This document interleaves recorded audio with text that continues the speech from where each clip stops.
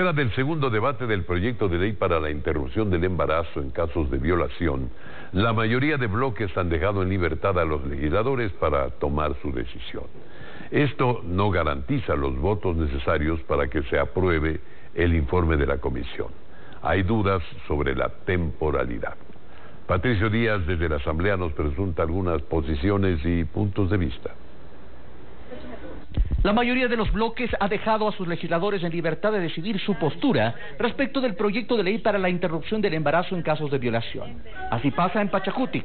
Sofía Sánchez dice que si bien el informe de mayoría habla de una temporalidad de hasta 22 semanas en menores de edad y 20 en mayores de 18 años, hay que buscar consensos en el Pleno. Yo diría que 16 semanas eh, está acorde a lo que sucede en la práctica. Es decir, probablemente una niña, una mujer que vive en un círculo de violencia a las, a las 12 semanas es muy poco tiempo. En el Partido Social Cristiano, igual, cada quien definirá su voto. Jorge Avedravo, por ejemplo, dice estar de acuerdo en el proyecto, mas no en el plazo que definió la mayoría de la comisión para la interrupción del embarazo, 22 semanas.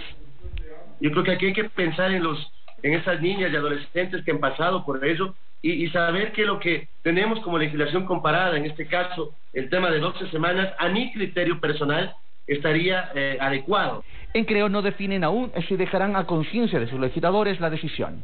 Ana Belén Cordero, sin embargo, adelanta que su postura no está con el informe de mayoría sobre todo para niñas y adolescentes, el plazo deberá ser de 12 semanas y para mujeres, es decir, mayores de 18 años, el plazo deberá ser de 6 semanas. En Izquierda Democrática tampoco definen aún una postura.